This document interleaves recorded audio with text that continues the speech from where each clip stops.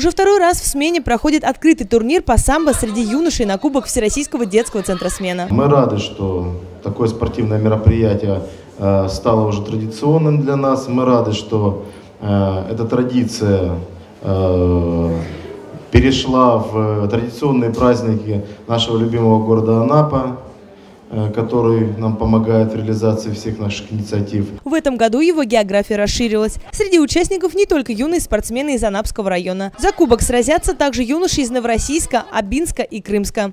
Всего соревнуются 8 команд, 72 человека. Очень приятно э, приглашение получить на уже традиционный турнир.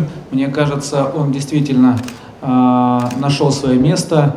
И думаю, что с каждым годом он, этот турнир э, будет э, все более популярен. И э, мне хотелось бы, чтобы на этот турнир приезжали ребята не только из Краснодарского края, но и со всех регионов нашей великой страны. Борьба за кубок происходит между мальчиками 2005-2006 года рождения в 9 весовых категориях. Призы спортсмены получат и в номинациях за лучшую технику, за самую быструю схватку, за волю к победе. Наш исконный вид спорта, который действительно зародился в Советском Союзе и сейчас мы его э, в дальнейшем развиваем. В финале соревнований победители в каждой категории получили заслуженные награды. В номинации «За волю к победе» награду Руслана Махмудова. Лучшая техника у Клима Маслова. В самой быстрой схватке победил Давыд Григоренко. Самбо! Ура!